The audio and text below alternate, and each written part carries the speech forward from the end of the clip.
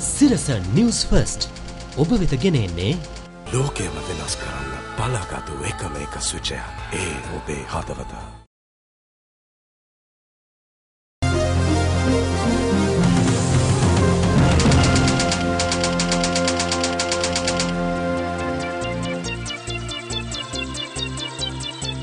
අයිබවානු වෙකී සිටිනේ නිවස් first රාත්‍රී දහය ප්‍රධාන ප්‍රෘති ප්‍රකාශයක් සමඟයි. ප්‍රථමයෙන් ප්‍රවෘත්ති සිරස්තල. බෙරගල ප්‍රදේශයේ නායාමකින් කොළඹ බදුල්ල ප්‍රධාන මාර්ගයේ රථවාහන ගමනාගමන යනෙහි.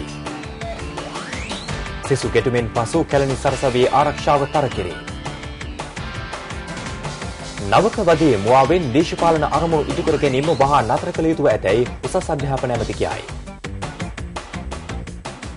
නැගෙනහිර මැතිවරණයේ තැපැල් ඡන්දයට සියලු කටයුතු සූදානම්.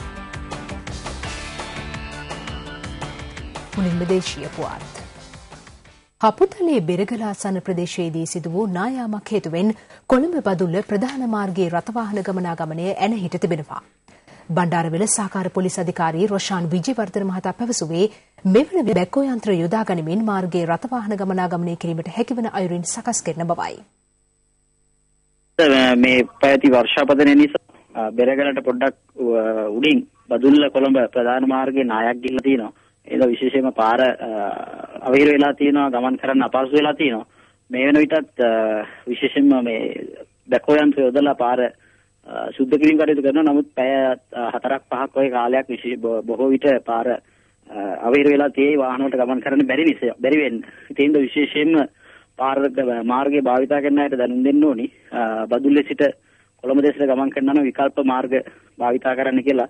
එතෙන්දී විශේෂයෙන්ම පුළුවන් කුඹල්වල හන්දියෙන් ඇල්ල වැල්ලවාය තනමල්ල හරහා උඩවල හරහා යන්න පුළුවන් කොළඹට ගමන් කරන අයට.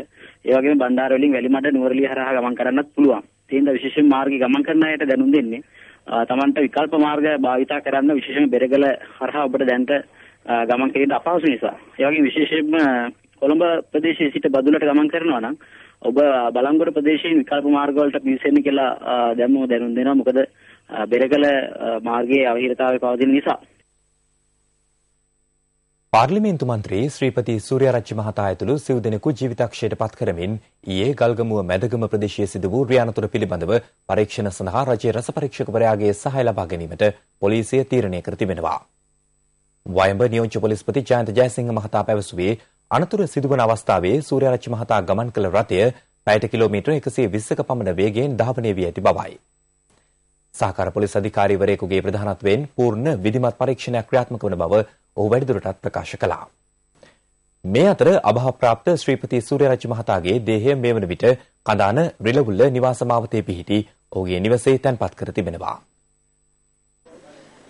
රියානතුරකින් ජීවිතක්ෂයට පත් ශ්‍රීපති සූර්යරච්චි මහතාගේ දේහය පරීක්ෂණ කටයුතු වලින් අනතුරුව තමුත්තේගම මූලික රෝහලේ සිට කොළඹ පෞද්ගලික මල් ශාලාවකට රැගෙනු ලැබුවා. අද පෙරවරුවේ එහි පැමිණි විශාල පිරිසක් සූර්යරච්චි මහතාට අවසන් ගෞරවය පළ කළා. පවුලේ ඥාතීන් පක්ෂ විපක්ෂ දේශපාලකයන් මෙන්ම සූර්යරච්චි මහතාගේ ආධාරකරුවන්ද ඒ අතර වුණා. හිටපු ජනාධිපතිනි චන්ද්‍රිකා කුමාරතුංග මහත්මියද මෙහිදී සූර්යරච්චි මහතාට අවසන් ගෞරවය පළ කළා. දේහේරගත් රිය පෙරහැර කඳානේ පිහිටි සූර්යරච්චි මහතාගේ නිවස බලා ගමන් ආරම්භ කළේ ඉන් අනතුරුයි.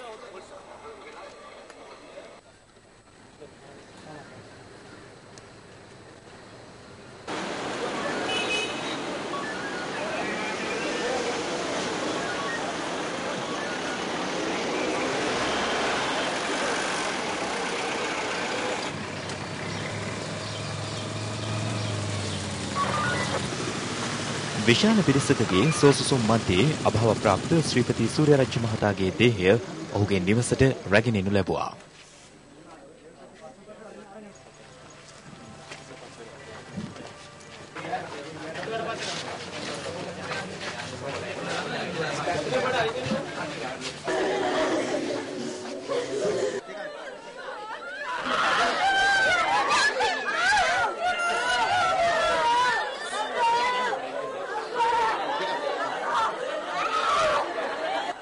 හතලිස් පස් හැවිරිදිවියේ පසු වූ ශ්‍රීපති සූර්යාරච්චි මහතා අභාප්‍රාප්ත වන විට සිවදරු පියෙක්. දෙදහස් හතර වසරේ පළමුවරට පාර්ලිමේන්තුවට පිවිසි ඔහු ක්‍රීඩා හා යෞවන කටයුතු නියෝජ්‍ය අමාත්‍ය වෘත්තීය පුහුණු සහ නිපුණතා සංවර්ධන අමාත්‍ය වරාය සංවර්ධන කැබිනට් නොවන අමාත්‍ය ඇතුළු තනතුරු රැසක් දරා තිබෙනවා. අබාම ප්‍රාප්ත සිය සමකාලීන මිතුරාට අවසන් ගෞරව දැක්වීම සඳහා අද දිනේ තුල පාර්ලිමේන්තු නියෝජිතයින් රැසක් සූර්යරච්චි මහතාගේ නිවසට පැමිණ සිටියා. විපක්ෂ නායක රනිල් වික්‍රමසිංහ මහතා සූර්යරච්චි මහතාට අවසන් ගෞරව දැක්වුවේ අද පසුරුවේ. වික්‍රමසිංහ මහත්මිය සහ එක්සත් ජාතික පක්ෂයේ ජ්‍යෙෂ්ඨයින් කිහිප දෙනෙකුද මේ අවස්ථාවට එක්ව සිටියා. ප්‍රජාතන්ත්‍රවාදය ආරක්ෂා කරන්න හැම වෙලේම ක්‍රියා කළා. තනතුරු දිහා බැලුවේ නැහැ. තනතුරු වමනා නම් මීට වඩා ලබා ගන්න තිබුණා. ඒ ශ්‍රීපති සූරජි මන්තුමා මම දන්න කාලෙදී ඒ එක එක ප්‍රතිපත්ති වෙනුවෙන් කතා කළා. අන්තිමට ඒ ප්‍රතිපත්ති සඳහා තනතුරු අතහැරලා සටනක් ගෙනිච්චා. මේම දේශපාලඥයෙක් නැති වෙන එක. ඒක ප්‍රජාතන්ත්‍රවාදයට පහරක් ප්‍රජාතන්ත්‍රවාදය ආරක්ෂා කරන දේශපාලන නායකයෙක් නැතිවීම. ඒත් ඒ ප්‍රතිපත්ති වලට අපි කැප වෙන්න ඕනේ. ඒ ප්‍රතිපත්ති ඉදිරියට ගෙනියන්න ප්‍රජාතන්ත්‍රවාදය ආරක්ෂා කරන්න අපි සියලු දෙනාම ක්‍රියා කර යුතුයි. සූර්යරච්චි මහතාගේ හදිසි අභාවය පිළිබඳව සමකාලීන දේශපාලන මිතුරන් කිහිප දෙනෙකු මෙසේ අදහස් පළ කළා.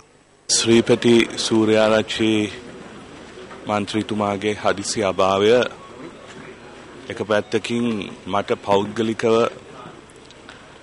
දරාගත නොහැකි පාඩුවක් වගේම මම හිතන්නේ අපේ රටට විශේෂයෙන්ම ප්‍රතිපත්ති ගරුක දේශපාලනය වෙනුවෙන් පෙනී සිටි ප්‍රධාන කෙනෙක් අපිට නැති වුණා.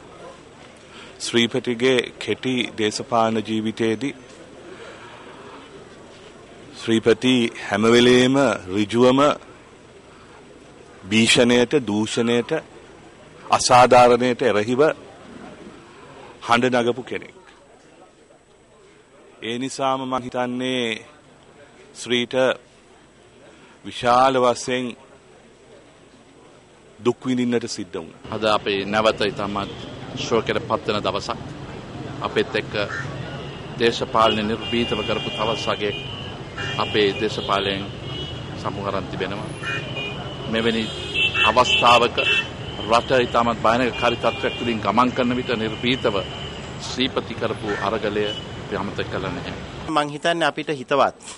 ඊ타මත්ම මිත්‍ර අපේම පාර්ලිමේන්තු කණ්ඩායම් තුල ඊ타මත් ඉදිරියෙන් කටයුතු කරපු පාර්ලිමේන්තු මන්ත්‍රීවරයෙක් කලක් අමාත්‍යවරයෙක් විදියට තරුණ කාලයේ මෙවැනි වගකීම් දරපු අමාත්‍යවරයෙක් ඒ වගේම හොඳ කාර්යශූර දේශපාලනඥයෙක් වගේම හොඳ දර්ශනයක් මනුෂ්‍යත්වයක් තිබ්බ මිත්‍රයෙක් විදියට මම ශ්‍රීපති සූර්යාරච්චි මැතිතුමා ගරු කරනවා.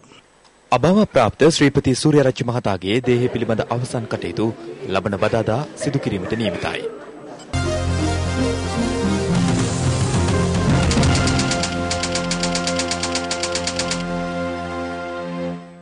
සිරස නිවස් ෆස්ට් ඔබ වෙත ගෙනෙන්නේ ලෝකයම වෙනස් කරන්න පලාගතු එකම එක සුචය ඒ ඔබේ හදවත.